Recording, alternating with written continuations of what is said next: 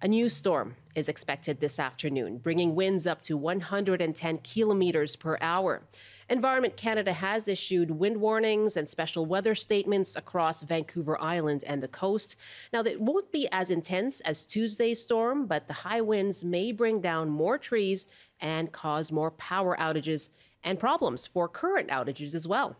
CBC's climate and science specialist Darius Mahdavi, joins me now. Hi, Darius. Hello. Okay, what do we need to know about this incoming storm?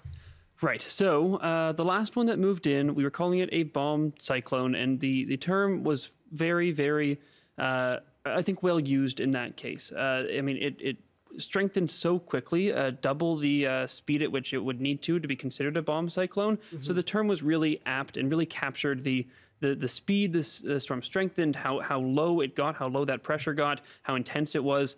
This storm that's coming in is also a rapidly intensifying low pressure system. It does seem like it will meet the criteria to be considered a bomb cyclone, uh, but I'm a little bit more hesitant to use the term this time because it is a little bit more like a, a, a more typical BC storm. It'll still be intense, but it's something more similar to what we might see in a, a typical year. So uh, you may see the term bomb cyclone thrown around but uh, I'm I'm not going to use it quite as widely because I don't think it's as apt. All those connotations that come with bomb cyclone. Now, mm-hmm. there is a difference in terms of how much farther it will get, right? Inland? Yes, that's right. Uh, so the last one, we got very, very lucky that it stayed offshore. Uh, this one, the track is still a little bit uncertain, but we're getting a better picture. It's pretty clear now. Uh, it will come closer to shore, uh, still not looking like it's going to move over Vancouver Island, but come closer. So it's less intense, but it will be closer, which means we will still see very high wind gusts uh, in, in many areas. Uh, I think uh, just sort of to give a, a, rundown of where we can expect to see the highest wind gusts.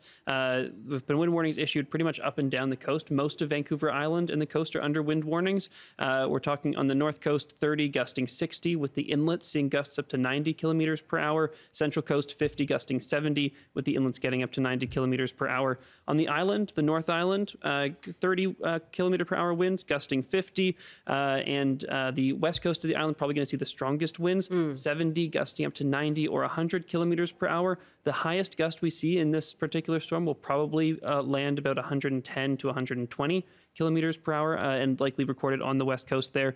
Uh, inland Vancouver Island, 30 gusting 60. East coast of the island, 60 gusting 80. South Island, 50 gusting 80. And sort of uh, to give you an idea of where we can expect to see the most widespread power outages, uh, west coast of the island, especially coastal areas, are the most likely to see those outages. Uh, the uh, North Island uh, has has a slight risk, but not too much. Especially Port Hardy, pretty sheltered from those winds. It was unusual when we saw the really high winds there last week uh, or earlier this week. Sorry, and east coast of the island, South Island, I'd say a, a, a mid moderate risk of power outages there as well. On the lower mainland, uh, winds shouldn't be gusting too high unless you're on the uh, more southern parts of Metro Vancouver, which typically get you know less rain, more wind. Uh, they're 60 gusting 70, maybe 80. Uh, the rest of Metro Vancouver really 40 gusting 60. Same in uh, Abbotsford, uh, in parts of the Fraser Valley. Probably going to see those winds calm as you go further east. and here, I'd say again, um, you know, Delta uh, probably going to see the highest risk of power outages, but it's still just moderate risk and uh, low risk, but still very possible across the south coast. Metro Vancouver could see more outages uh, today as well. Okay, and I am looking at the outage map on BC Hydro right now, and it looks like it is the east coast of uh, Vancouver Island mm-hmm. right now that is still hit with current outages. So interesting to see that it'll be the west coast uh, mm-hmm. for this weekend. Yes. Should be uh, looking out. East coast of the island, though, especially Campbell River down to about Qualicum Beach, still has a, a, a, fair risk of seeing more power outages. So the fact that this is really coming on the back of the last uh, storm right. is, is part of what's stressful. I think mm-hmm. the last number I saw was 15,000 people still without power. Uh, this is really just going to hamper more cleanup efforts, uh, probably cause more travel disruptions, more outages, and just further stretch BC Hydro crews that are really just trying to get on the ground. Uh, and I sort of uh, I've been calling this storm sort of the baby of the last one. Uh, we've got a lot of weather happening on the west coast. To the south of us, hitting California right now, there's an atmospheric river, a, a pretty strong one that's been going on uh, all week since the bomb cyclone hit us here on Tuesday. We've got that bomb cyclone that hit us on Tuesday still spinning off the coast, uh, moving further away, but sort of interacting with this one.